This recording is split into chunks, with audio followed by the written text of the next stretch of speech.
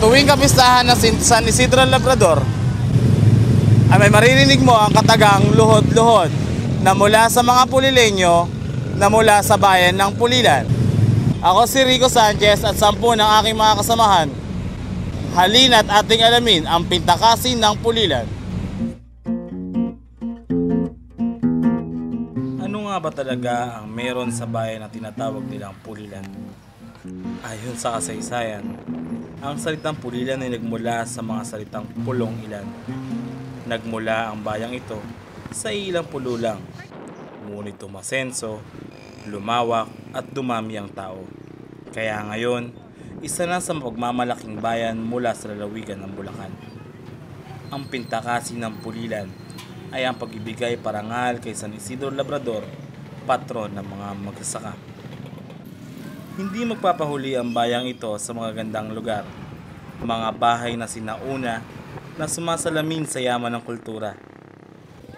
Mga pagkain na kay sarap at malawak at berdeng palayan na tunay na humahalimuyak ang samyo ng kabukiran. Parang wala namang kaibahan ng pulilan sa ibang bayan. Meron kaya? Napag-alaman ko si Kasiling pala na simpleng kapitbahay ko ang may pagmamalaki ng aking bayang pinagmulan. Siya si Casilrino Kaluwag, tiga Santo Cristo, Pulilang Bulacan. 72 years old, may asawa at limang anak. Isa siyang magsasaka at nag-aalaga ng kalabaw. Si Kasiling ay tunay na pagmahal sa kalabaw at may pananampalataya sa Diyos. Siya ang pinakamatandang pulilenyo na lumalahok sa paluhod ng kalabaw taon-taon. Ayon sa kanya, ito ay panata na pamana ng kanilang lahi. Namana ng aking ama sa kanyang ama. Pagkatapos, yung aking ama, nung hindi na uubra yung kanyang ama, siya naman ang pumaparada. Ako naman, angkas-angkas lang. Ah, angkas muna po kayo. Oo, Tapos hindi, po, Hindi ako pwede sumakay sa nag-iisang kalabaw dahil baka aking mahulog, mamatay ka. Ganun. ah, po. Ah, ito, ngayon, ako na nagpatuloy. Wala na rin yung aking ama. Ta kasi dito, ang palagay ko, kung ang pam- patron dito eh, magsasaka sa Pulilan, San Isidro Labrador. Kaya palagay ko, yun ang naging Hindi Tradisyon. ganun Tradisyon po. Ano po, bakit po kayo sumasali sa paluhod? Ta kasi, ang kalabaw namin nung araw kahit hirap na hirap dito, pagdating na makapananghali, pinadadala ng aking ama ron. At pag uwi naman, masisigla ang mga kalabaw. Ah, para pong Oo, may- piyesta nila eh. Piyesta Ah, parang nila. masaya sila. Oo. Mawawala po yung Oo, yung nawawala yung pagod. Opo. Bakit po lumuluhod ang kalabaw sa harap ng simbahan? Naging tanong namin sa kanya. Di ba, ang tao eh, meron pa nga pagpasok na simbahan eh, lumalakad ng paluhod at papuntang altar. Parang gano'n na rin ang nagiging tradisyon. Ang kauna-unahang nakita ko nagpaluhod ng kalabore at tuwa naman, yung aking kapatid. Nakapremyo lang na isang litrato ng San Isidro yun, eh, tuwa na. Pagkatapos, ayun, medyo may mga nakukuha ng mga pamitik, ganyan, lubid. Doon ko malauran niya, natuto na rin ako sumakay sa kalabaw. Meron naman akong kalabaw na walang hiya noon. Basta nakakita ng tao, hindi mo maididikit. Pagka ka- nakarating na ron, kung puro tao nakikita, pagluhod doon eh, hindi natatayo yun. Lumalakad na ng paluhod. Ay, umudo ng galing dahil, pero sa takot yun. sa, sa takot sa tao. Eh yun, yun ang doon ko na natuto na nakarating ako Manila dahil sa Kalabaw. Sa Luneta, sa Intramuros, sa Subic. Sa kalabaw.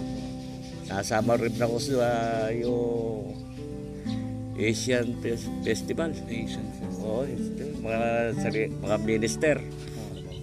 Doon sa nakikita ko sa TV, dahil doon sa ibang lugar kasi, parada lang. Pare, Parada lang, ala ko nakakita lumuluhod. tayo lang po talaga. Oo, freedom. palagay ko. Mm.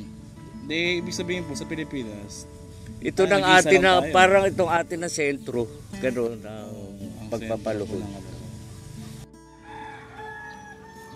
Sa obserbasyon ko, ang pagmamahal niya sa kalabaw ay hindi mababantayan dahil sa natunghayan namin. Tinuturo niyang tao ang mga kalabaw. Sa pagtuturo lang, sa pagluhod ng kalabaw. Imbis na hagupatin ng tali para siya ay sundin, ay ginamitan pa rin niya ng puso. Kitang kita na aming pangkat kung paano niya paluhurin si Pogi na sampung taon na at si Big Boss sa dalawang linggo lamang sa kanya naggamit ng pagsuwit at mahinahong pagkasalita.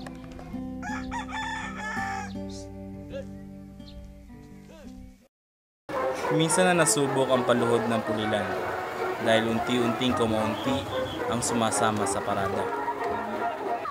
Pero katulong ang dating mayor ng Pulilan, binalik nilang dalawa ang tradisyong kailangan muling pagyamanin. Bumuo sila ng mga programa, sinamahan ng pabuya, at dasal kay San Isidro Labrador upang manumbalik ang init ng paluhod. Sa kanilang pagsisigap, muling bumalik ang init ng paluhod. Kaya't unti-unti nang nakilala ang pulilan sa buong bansa at buong mundo. Dumami rin ang dumadayong dayuhan upang mamanata ayon sa kanya. Nauna ang mga dayuhang Ingles na sinundan ng Hapon at Koreano. Sa amin namang magsasaka, nagkaroon kami ng magandang ani sa palay dahil kay San Isidro Labrador tuwing kami ay namamanata. Sa huli, ang pagpapaluhod ng kalabaw ay isa lang bahagi ng kapistahan. Ngunit ang mahalaga rito ang pagibigay puri sa Diyos. At ayon kay Kasiling, hanggat ako'y nabubuhay, hindi ako titigil sa paglahok sa paluhod ng kalabaw dahil ito ang aking paraan ng pananampalataya sa Diyos at pagmamalaki sa bayang aking pinagmulan. Si Kasiling at ang kanyang mga kalabaw ay mananatiling alamat ng bayang ito. Mga magpapatunay na buhay ang paniniwala at pananampalataya ng mga pulilenyo.